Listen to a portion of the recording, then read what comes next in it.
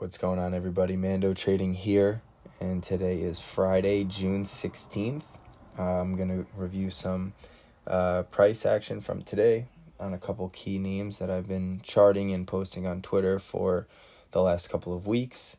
Um, this will be the second edition of me doing this on Twitter and on YouTube, but um, the first one I tried, uh, my computer didn't save the video, so I just had it with the audio and a backdrop of some still images. So here you'll be able to actually see me um, go through um, where I'm charting and things of that nature. So, um, anyways, to start, we have Apple on the 30 minute time frame. Again, I know I spoke about this and I'll probably say it a hundred times more, but I like the 30 minute chart. Um, I, you know, I, I typically use the 30, 5, and under, um, with the lowest being the one minute chart. Um, the reason why I don't really look for too much on a higher time frame than the 30 minute is because I do scalp. So anything above that 30, I feel like, you know, even if a move may present itself, it might take too long um, for me to trade. And again, I'm scalping 90% of the time. So I'm looking at uh, tighter time windows for sure. So here's Apple. Um, we will go to Friday, right? Here. Okay, so Friday open.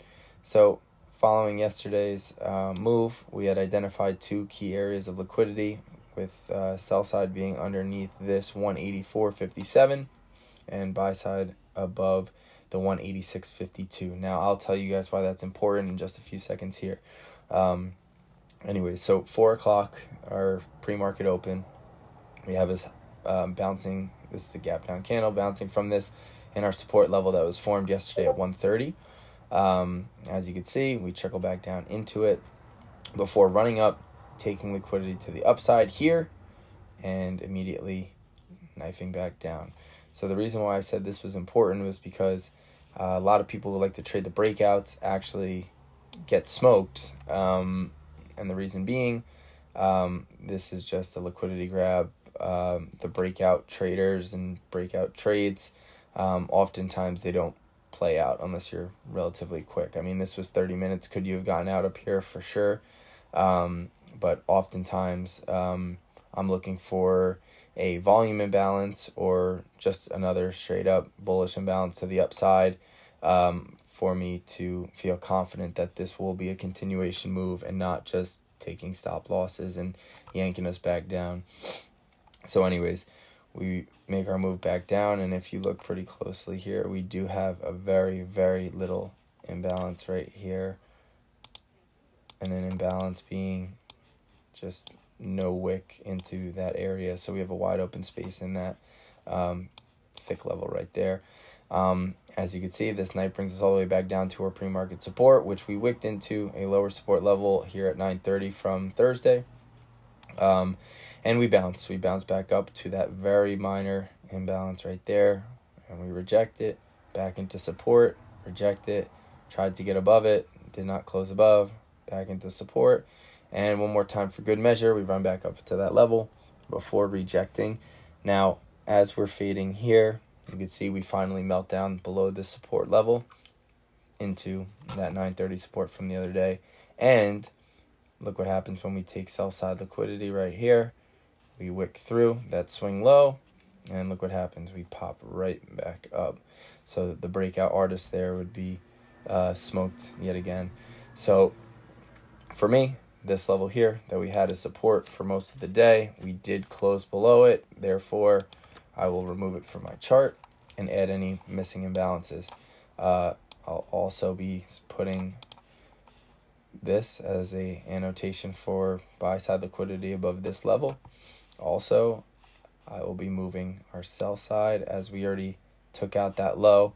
This would be our new low right here. So our new low is 184.27. New high that was formed today is 187.37. And here it's time to throw on some imbalances. So our first right in here.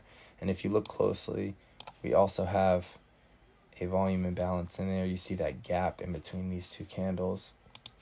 I'll also note that as being a stronger resistance level. And We have another here, which we have no bodies closed above. Again, the wicks are just giving you a heart attack. The bodies are what's actually happening. Um, so we close up today, ending in support, and here is the finished product on this Apple 30 minute chart. And these are my levels that I'll be looking at into uh, Tuesday. No market on Monday. So, all right, on to the next Tesla. So let's see. Tesla is another one that I've been looking at for quite some time now. So just to rewind here, we have um, Thursday 930 imbalance candle and we create a support level in here. Notice how I am pulling my support. So we have the wick to here, we have the wick to here inside and in between these two wicks we have nothing going on in here other than a big green candle. Um, so we can look at that as support or a springboard. Now I did not create these concepts, I just used them. I've seen that they are excellent and if you look through my Twitter, you will see the same.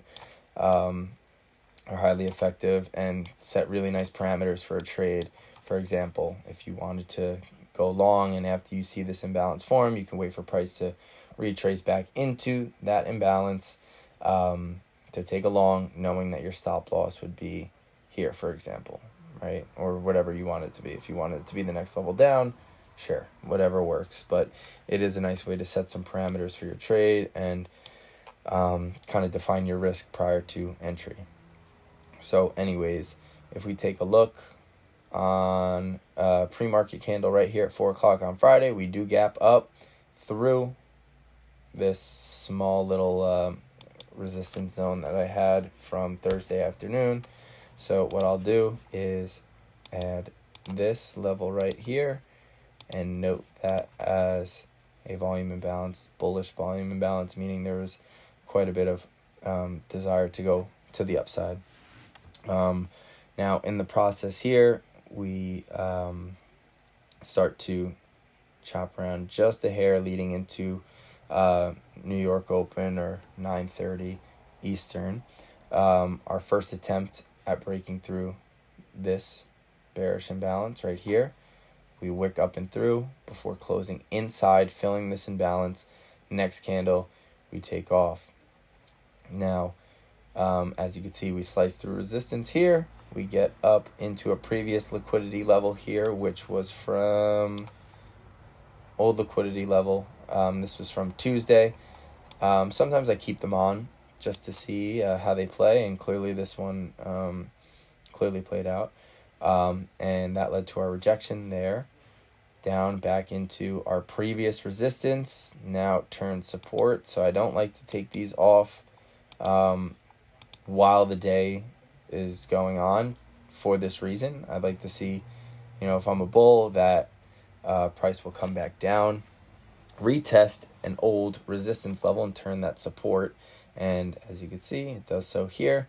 And we run back higher up again, up through our um, resistance level before we get rejection here. And look where we settle back into this resistance level, which I'm going to view as support moving into next Tuesday. Um, we held the candle, uh, the bottom of that imbalance here, and we trickled our way back higher. Now, we also have relative equal highs, which uh, a lot of retail traders were taught that that's actually going to act as, uh, you know, a resistance. But, um, you know, from what I've learned, what I see, um, oftentimes relative equal highs will lead to uh, price actually going up and expanding through those highs into liquidity, which would be on Tesla at 264.87. So that's uh, my area of interest going into Tuesday for Tesla.